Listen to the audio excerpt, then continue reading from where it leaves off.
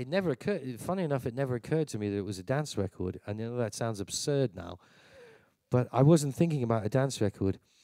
I was thinking about at the front, you know, where where it started. I imagined that uh, armies of people stretching out to the horizon, want, waiting to have sex. and Holly being the sort of uh, standing like on, on, on, on the top of a tower and a minaret, like a minaret with minarets, calling the faithful to come and fuck, basically.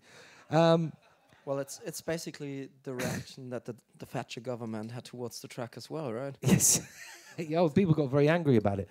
But I, I, thought all this was in my head, right? And that, that we would be okay.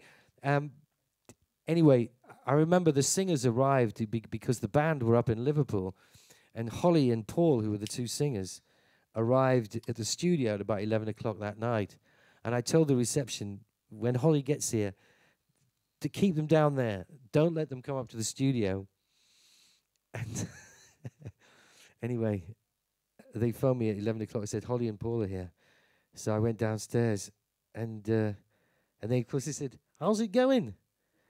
And I said, Well, it, it, it's changed a bit. And they said, Changed? How much has it changed? I said, Well, it's changed quite a lot, actually. He said, Oh, no, you haven't started again, have you? Because you can remember this is the fourth time. I said, Yeah, I've started again, sorry. And they ran, and I ran after them. They ran up to the studio. And of course, we, we played it. And from the minute it started, they started to dance, and they loved it.